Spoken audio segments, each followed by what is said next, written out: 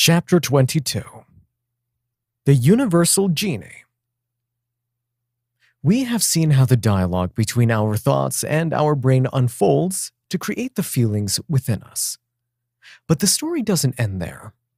The feelings we generate are emitted beyond the confines of our body to permeate the field of energy that links all of creation, the universal mind. This amorphous sea of intelligence is a living organism that is highly responsive to our communication. Our thoughts transpose to feelings, and our feelings transpose into waves of energy that we radiate. These emissions are impressed with information that corresponds directly to the way we think and feel.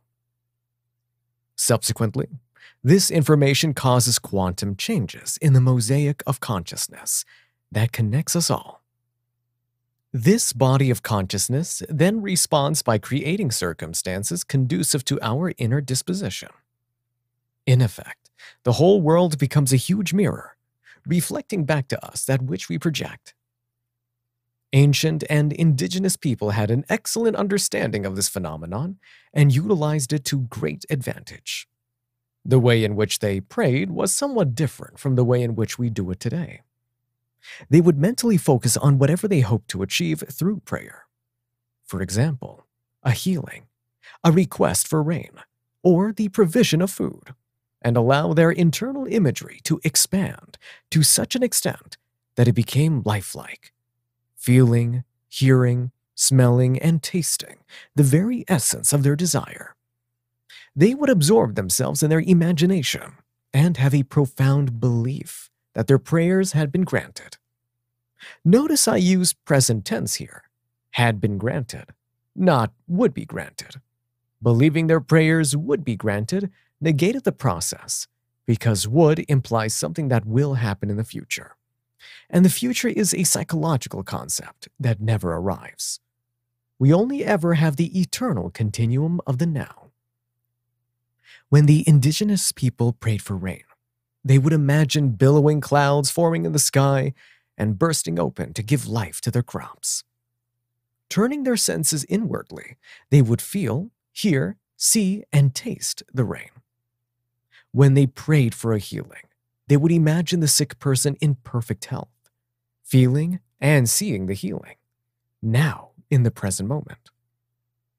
The underlying theory behind their success is that every possibility already exists in the field of infinite possibilities. The possibility of drought, the possibility of rain, the possibility of disease, the possibility of perfect health. We just have to choose from these possibilities the way in which we choose is determined by the focus of our mind and the extent of the supporting feelings. For our prayers to be granted, we must believe that they have manifested with every rudiment of our being. Innumerable reports of miraculous results have emerged as a result of using this technique. Rain in the middle of droughts, healings of the incurable, peace in war torn areas, and crops sprouting in infertile ground. The list is endless. So, what does this information mean to the person on the alcoholic to alchemist journey? It means we can create any circumstances we want. By focusing intently on that which we aspire to achieve and evoking powerful feelings to support it, we radiate a request to the universal mind. When we propagate feelings of well being, the field responds by creating circumstances conducive to well being. When we broadcast feelings of lack and poverty, the field responds by creating scarcity. Like a faithful servant, it doesn't determine whether your requests are in your best interest or not. It never judges, it simply responds. The universal mind is akin to a genie that grants your every request. Think it, feel it, transmit it, and await the results. Sounds great, infallible. And it is for those who live life consciously. But most of the population of this planet live life unconsciously. Most people are under the spell of social hypnosis and way out of touch with their feelings. Every moment of our lives, we are generating feelings that produce quantum changes in the universal matrix of intelligence that surrounds and permeates everything. You might say we are in a constant state of prayer, sending out a continuous string of requests. As most people live life unconsciously, they do not know what information they are emitting. Their feelings are generated from an unconscious level, so they exercise no control over them. As a consequence, the requests they are making to the universal genie are often ambiguous or detrimental. Can you imagine having the capacity to wish for anything you desire in life and not knowing it? Furthermore, in your ignorance, you inadvertently ask for all those things you do not want. In effect, this is exactly what's happening. The underlying principle here is the law of cause and effect which says that what we give out, we get back. As most people live life unconsciously, they inadvertently focus on that which they do not want. And guess what? The universal genie obliges by granting them their wishes. The negative circumstances show up in abundance. Whatever radio station you're tuned into, that's what you receive. Putting this information into the context of alcoholism, we come to realize why our lives aren't working.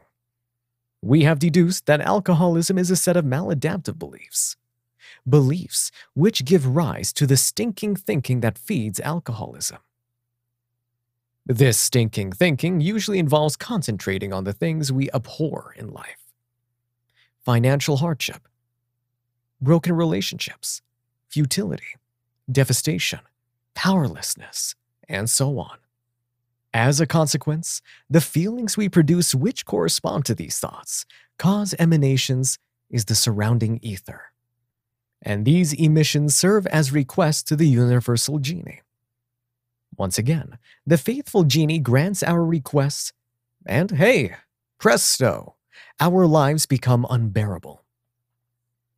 The law of cause and effect has transmuted the pollution of our internal domain, stinking thinking into the chaos in which we are immersed on a daily basis.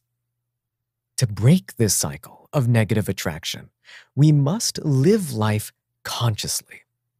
What is needed is self mastery, the ability to choose our thoughts and control our feelings in a manner conducive to optimal living. To do this, however, we must be aware of willpower and won't power.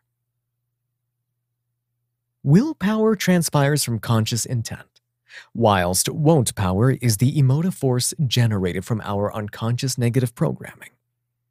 Although we may make a conscious decision to change in all earnestness, our willpower is invariably overridden by the power of our unconscious negative programming. Imagine two radio stations broadcasting conflicting messages simultaneously. One is broadcasting positive messages, the other, negative messages. The positive transmission has only 1 watt of power, whilst the negative transmission has a 1,000 watts. Due to this power imbalance, the negative transmission is going to propagate much further and have a far greater influence than the positive transmission.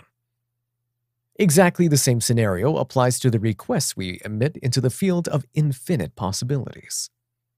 Our conscious intent is broadcast at 1 watt and will be obliterated by the 1000 watts of our unconscious, unless we derive a method of amplifying our conscious intent. Fortunately, the ancient and indigenous people left us with a legacy in how we might achieve this. The key to amplifying our conscious intent to such an extent that it overrides our negative, unconscious programming lies in the power of our imagination. To manifest our desires, we must generate an internal scenario that is so powerful that it penetrates our unconscious. We must bring all our sense modalities into play, turn them inward, and see, hear, feel, taste, and smell our desired outcome. We must believe with every rudiment of our being that our request has already manifested. We must evoke a surge of emotion that pervades every cell, bone, and tissue of our body to generate a wave emission so powerful that it overcomes any unconscious interference and broadcasts our request loud and clear. The nature of quantum healing. The power of the mind is demonstrated in its most potent form through the work of the medicineless hospitals in China. These centers avoid traditional medicine and special diets in favor of exercise, love, and life energy. As they are learning the art of self healing, the people who are sick, addressed as students, not patients, Western trained doctors play only a minor role and prefer to be called teachers. Their main function is to diagnose students when they are admitted and again after a 24 hour period. After diagnosis, students are assigned to a class of about 50 people for a 24 day treatment.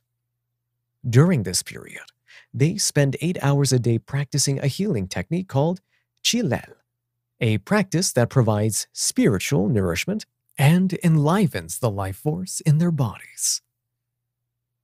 Chi-Lel is a synthesis of Qigong and contemporary medical knowledge. Qigong is a practice that involves aligning the breath, physical activity, and awareness to promote physical, mental, and spiritual well being. During a typical treatment, a student's cancerous tumor is displayed on a screen and monitored by doctors. The teachers then surround the student and emit qi, the life force. Within a couple of minutes, the cancerous tumor generally dissolves before the doctor's eyes. A few days later, the student is checked by the doctors and the healing is usually confirmed. The hospitals have a success rate of 95% over a range of 180 different diseases. The degree of success is not only determined by what happens during treatment, but also by the commitment of the students to practice novel ways of nourishing their bodies after leaving the hospitals. People have miraculously recovered from incurable diseases such as cancer, diabetes, arthritis, and heart disease. Many have outlived their doctors by as much as 20 years. How does healing occur? Remember, unlike linear time in which we have to wait for results, the concept of vertical time states that there are an infinite number of parallel realities in which every conceivable scenario already exists. Teachers at the medicineless hospitals initiate an unfolding process in their bodies as the contents of their imagination transpose into powerful feelings, they generate a field of information which interacts with the forces of creation and causes quantum changes in the matrix of consciousness that envelops both themselves and the student. The combined effort results in the activation of an alternative, parallel reality, in which the student's cancer does not exist. Summary we choose our desired reality through the power of belief. Whether it is rain in times of drought or a healing, we must believe it has manifested wholeheartedly. Although the limitations of our physical senses tell us that we are all individuals with defined boundaries, at the most primordial level of existence, we are all one. Our external reality mirrors our inner disposition. As within, so without. What we perceive in the mind, we receive from the universe. The space between our thoughts is pure potential, containing an infinite number of possibilities. The reality you desire already exists. You just have to choose it. Exercise. Mindfulness. Throughout the course of each day, become aware of the feelings you experience. Pay attention to the sensations in your body and become aware of the accompanying thoughts. Ask yourself the following questions Am I concentrating on what I do want or what I do not want? Are these thoughts conducive to growth? Are these thoughts reoccurring?